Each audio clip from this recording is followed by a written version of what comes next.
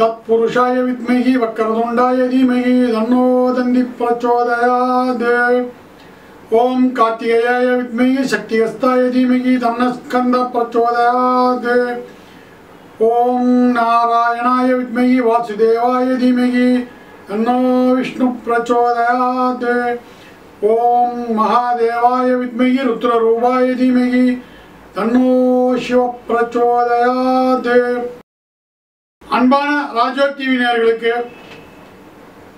இனிய வணக்கங்கள். இன்றைக்கு நாம் ஒரு சிறப்பான புதிய தலைப்போடு உங்களை சந்திப்பதில் மகிழ்ச்சி அடைகிறேன். இன்றைக்கு என்ன தலைப்பு? சொந்த வீடு வாகனம் அமைய வேண்டுமா? அதென்ன அமைய வேண்டுமா என்றால் நாமே அமைத்துக் கொள்ள முடியுமா? ஆம் நிச்சயமாக முடியும். நம்மளுடைய ஜனநாயக ஜாதகத்தில் நான்காம் இடம் மற்றும் நான்காம் அதிபதி சிறப்பாக இருந்தால் இயற்கையிலேயே ஒருவருக்கு வீடு அமைந்துவிடும். சரி ஜாதக ரீதியாக சிறப்பாக இருந்தால் தானாக அமைந்துவிடும். அது நாம் என்ன செய்ய போகிறோம்? யாருக்கெல்லாம் அப்படி இல்லையோ யாருக்கெல்லாம் அமையாமல் போய்விட்டு இருக்கிறதோ அவர்களுக்கு அமைவதற்கு என்ன செய்ய வேண்டும் என்பதை மிக சுருக்கமாகவும் தெளிவாகவும் அதே சமயம் மிக எளிய பரிகாரத்தின் மூலமாகவும் அடைவதற்கு ஒரு வாய்ப்பை ஏற்படுத்தி தருவதற்காகவே இதை ஆரம்பித்திருக்கிறோம். பொதுவாகவே வீட்டை கட்டிப்பார் திருமணத்தை செய்து பார் என்று சொல்வார்கள். ஆனால் இன்றைக்கு வீடு கட்டுவதன் என்பவோ சுலபமாக தான் இருக்கிறது. அதற்கான வாய்ப்பு தான் கஷ்டமாக இருக்கிறது. எப்படி இருந்தால் சொந்த வீடு அமையும்.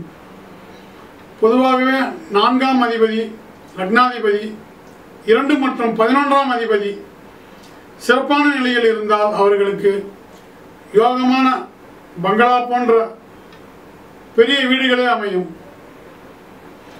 சிலருக்கு சிறியதாய் ஒரு அப்பார்ட்மெண்ட்டோ அல்லது சாதாரணமான ஒரு வீடோ அமையும்.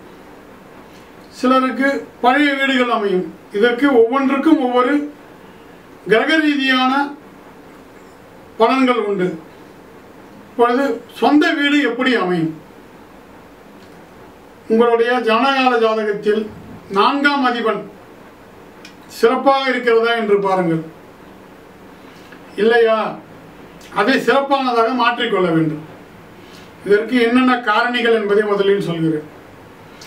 நான்காம் அதிபனும் பதினோராம் அதிபனும் பரிவர்த்தனை ஏற்பட்டிருந்தால் நிச்சயமாக அவர் மிகப்பெரிய இடத்தை வாங்கி மிகப்பெரிய பங்களாவை கட்டியே தீருவார். அதேபோல் நான்காம் அதிபனும் பதினொன்றாம் அதிபனும் நான்காம் அதிபனும் ஐந்தாம் அதிபனும் நான்காம் அதிபனும் இரண்டாம் அதிபனும் பரிவர்த்தனை பெற்றிருந்தாலோ அல்லது சேர்ந்து இருந்தாலோ ஆட்சி உச்சம் பெற்றிருந்தாலோ நிச்சயமாக அவர்களுக்கு சுலபமாக வீடு அமைந்துவிடும்.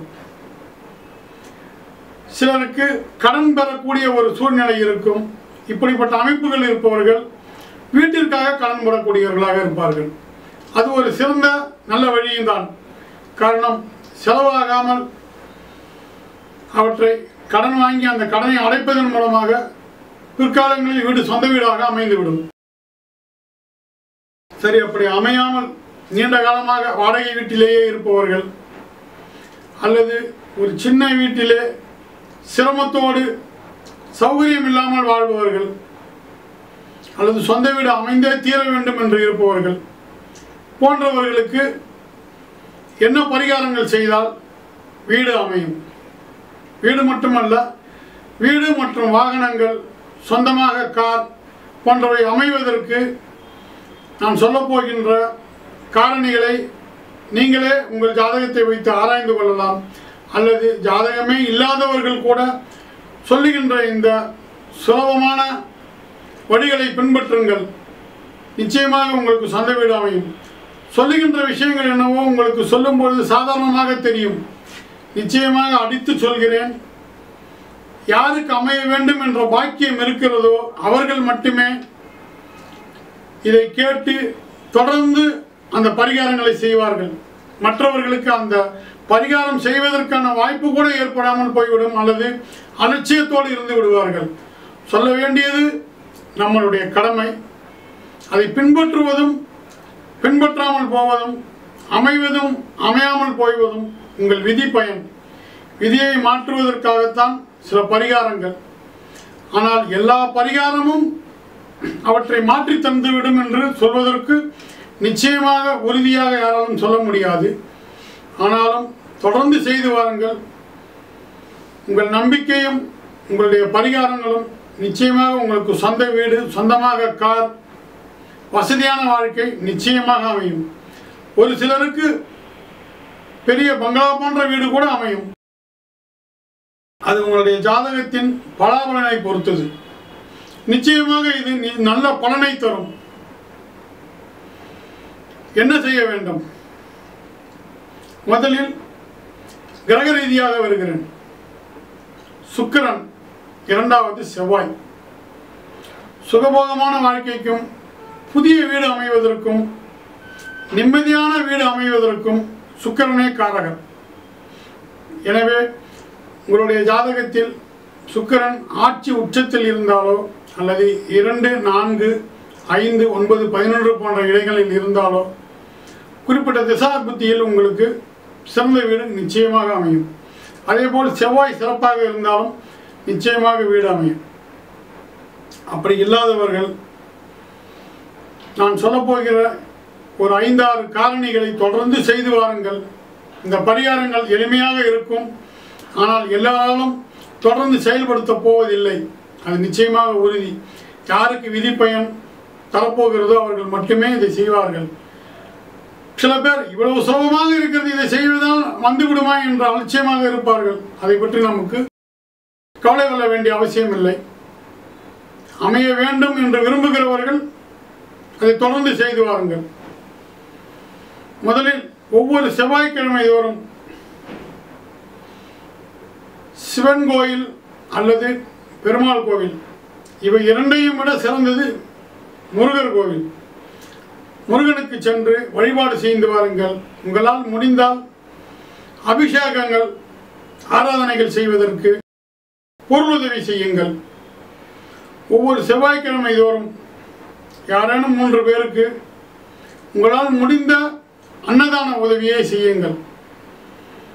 அதற்கே நிறைய செலவாகுமே. ஒவ்வொரு செவ்வாய்க்கிழமையும் செய்ய வேண்டுமா என்று நினைக்காதீர்கள். லட்சக்கணக்கிலே ஏன் கோடிக்கணக்கிலே வீடு வாங்கக்கூடிய யோகம் அமையும் பொழுது இதை செய்யக்கூடாதான் என்ன? செய்ய முடியும். கடையில் போய் வாங்க வேண்டிய அவசியம் இல்லை. அன்றாடம் சமைக்கும் பொழுது ஒரு நான்கு பிடி அரிசியை அதிகமாக போட்டு நீங்கள் எப்படி சாப்பிடுகிறீர்களோ அதே போல் சமைத்து ஒரு மூன்று பேருக்கு தானம் செய்யுங்கள். செவ்வாய்க்கிழமை தோறும் முருகர் கோயிலுக்கு சென்று வாருங்கள் செவ்வாய் பகவானுக்கு அர்ச்சனை ஆராதனை செய்து வாருங்கள். இதற்கென்று ஒவ்வொரு ஊரிலும் சில கோயில்களும் உண்டு. சென்னைக்கு அருகில் சிறுவாபுரி என்று இருக்கிறது. அங்கே போய் ஒரு ஒன்பது செவ்வாய்க்கிழமை சென்று வாருங்கள். அல்லது முடியாதவர்கள் அருகில் உள்ள முருகர் கோயிலுக்கு சென்று வாருங்கள். இரண்டாவது வெள்ளிக்கிழமைகளில் அம்மன் மற்றும் மகாலட்சுமிக்கு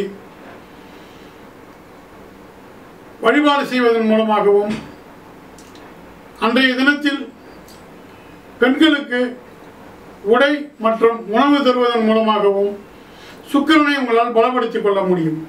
இது இரண்டாவது பரிகாரம். மூன்றாவதாக ஒவ்வொரு செவ்வாய்க்கிழமைகளிலும் ஏதேனும் ஒரு பிராணிக்கு உணவளித்துக் கொண்டு வாருங்கள். அது நாயாகவோ பூனையாகவோ அல்லது காக்கையாகவோ இருக்கலாம். ஒவ்வொரு செவ்வாய்க்கிழமையும் செய்ய வேண்டும். அதேபோல் யாருக்கெல்லாம் நான்காம் அதிபன் பலமிழந்து போயிருக்கிறாரோ அது எந்த கிரகம் என்று பாருங்கள். அந்த கிரகத்திற்கு அந்த நாளிலே தொடர்ந்து பீர்த்தி செய்து வாருங்கள். இதன் மூலமாக நிச்சயமாக உங்களுக்கு புதிய வீடு அமைவதற்கு வாய்ப்பு உள்ளது. அதே போல் ராகு கேதுவினால் சிலருக்கு தடை ஏற்பட்டிருக்கும்.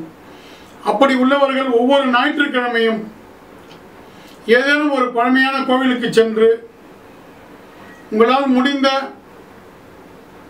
உதவிகளை ஏழைகளுக்கு செய்து வாருங்கள். அந்த கோயில்களிலே ஒரு முப்பது நிமிடம் அமர்ந்து பொறுமையாக தியானம் செய்யுங்கள். செவ்வாய் வெள்ளி மற்றும் ஞாயிற்றுக்கிழமைகளில் நீங்கள் செய்கின்ற இந்த வேலைகளானது உங்களுக்கு தடைகள் இருந்தாலும் தடைகளை நீக்கும். இதுவரை வீடு அமையாதவர்களுக்கு வீடு அமையும். வாகனங்கள் அமையாதவர்களுக்கும் வாகனம் அமையும். இது சுலபமாக செய்யக்கூடிய விஷயமே. ஆனாலும் யாருக்கு அமைய வேண்டும் என்று இருக்கிறதோ அவர்களே இந்த பரிகாரத்தை தொடர்ந்து செய்வார்கள். இதை தொடர்ந்து செய்து முயற்சி செய்து பாருங்கள். நல்ல நேரம் கூடி வரும்பொழுது நல்ல திசாபுத்தி வரும்பொழுது நிச்சயமாக உங்களுக்கு சொந்த வீடு அமைந்தே தீரும். அதில் எந்த மாற்றமும் இல்லை. சிலருக்கு கடன்பட்டு வீடு அமையும். சிலருக்கு கையிலே பணம் வைத்துக்கொண்டு வீடை வாங்குவார்கள். சிலர் புதிய வீடு புதிதாகவே கட்டுவார்கள். இதில் எந்த விதமான மாற்று கருத்துக்கும் இடமில்லை. இதை தொடர்ந்து செய்து வாருங்கள். உங்களுக்கு நிச்சயமாக சொந்த வீடு கார் போன்றவை அமைந்தே தீரும். நம்பிக்கையோடு இந்த பரிகாரங்களை செய்து வாருங்கள். சொந்த வீடு நிச்சயமாக அமையும் என்று உறுதியோடு கூறி வாழ்த்தி விடைபெறுகிறேன். நன்றி வணக்கம்.